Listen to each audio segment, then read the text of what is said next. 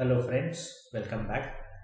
In today's video, we are going to see one scenario uh, which you guys only asked about uh, the EBS volume, EC2 EBS volumes that you're not able to extend the EBS volume.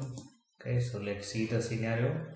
So the scenario is not able to extend EC2 EBS volume uh, and you are getting error about the 6 hours error okay so let's see what is that error first and then we'll uh, find a solution about that error and how to uh, rectify those. Okay so even we'll see uh, what are uh, the state values EBS how to check uh, the status check about the EBS volume.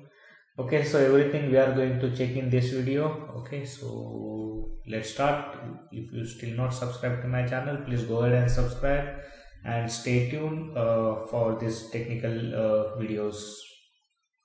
Okay so let's get start log into your aws account. Okay.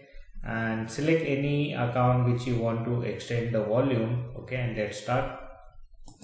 Okay so i have logged in into my aws account. I went to volume section. Okay so let's see our scenario. Not able to extend ec2 ebs volume getting six hour error. Okay so this scenario when it will come okay? So let's see that okay? So i'm just modifying my volume okay? So it is now 70 gb okay? I'm expanding to 80 and clicking on the modify okay? And let's go into server and extend the volume.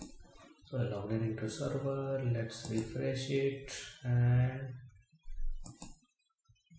let's extend the volume okay? So it was 70 now it is plus 10 so it will be 100 oh sorry 80 next next finish.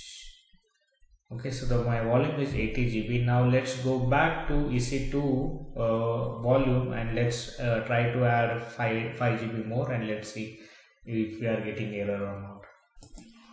So we came back and let's try to modify the volume again. You can see the modify option itself is gray out. Okay so let's try after some time again. Meanwhile let's see the EBS features okay? Uh, how you identify your EBS health. Okay so there are basically four state to identify okay warning impaired and insufficient data. Okay out of these four stage you can uh, watch your health of your EBS volume. Okay so let's see out here. Okay so you can see the status. Okay so here the volume status is okay. Okay so similarly you can also uh, configure uh, this status on your SNS notification I also made a video on SNS okay so you can also uh, check out there. And let's scroll down a little bit. Okay so here are uh, the SSD state right? Uh, so the volumes about EBS volume GP uh, GP2 uh, GP3 these all are uh, SSD volumes. So while increasing okay ensure that you are selecting the correct way. You are not converting from GP2 to GP3 you can see here guys i'm still not getting modify volume option.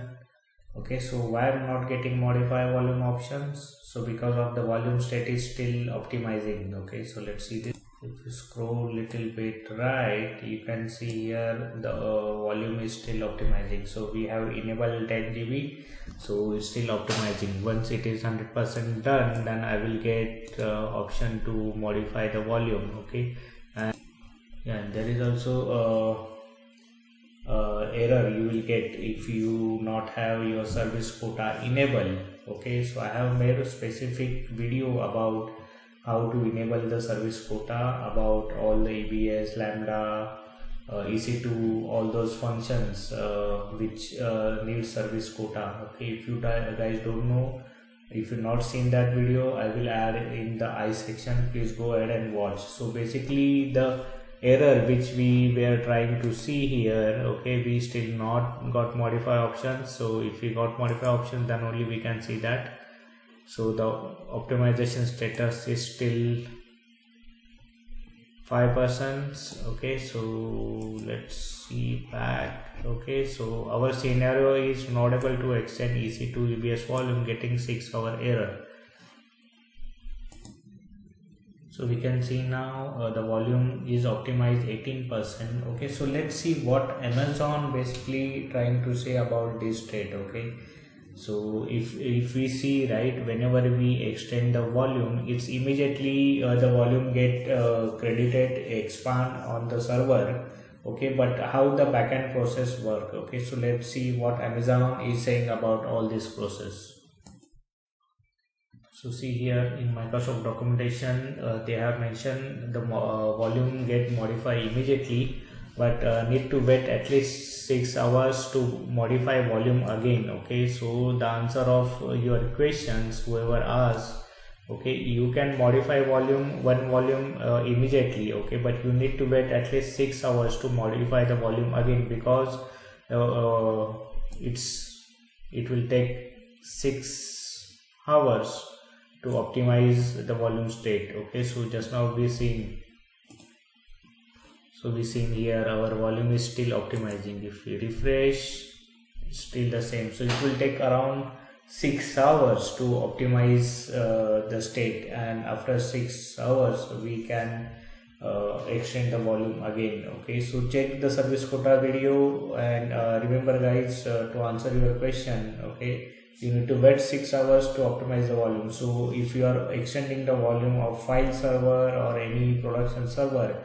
ensure that uh, take uh, prior uh, uh prior information about how many data you how many gbs dbs you need to extend okay? Because if you start that process okay so you need to wait at least 6 hours to extend the same and one more thing uh, let me tell you one of the example okay? So uh, what happened uh, one of our file servers so the requirement came to extend about 500 GB okay? So after extending 500 GB okay immediately they said that they need uh, to add uh, 200 more GB because they were doing some testing okay so it was not possible. So what we did we immediately uh, restored from EBS volume from our uh, backup. We were taking a backup. So uh, we restored from backup uh, that drive and we extended uh, 700 GB on the spot and we unmounted the existing volume. Okay so same thing say similar like that you need to tackle the situation whenever you have because if you go with uh, this optimization state it will take a longer time depend upon the size and everything uh, okay so yeah so uh, go ahead and try this okay in your lab or in your production servers and let me know if you have any questions okay so that's it for today uh, we'll meet you next week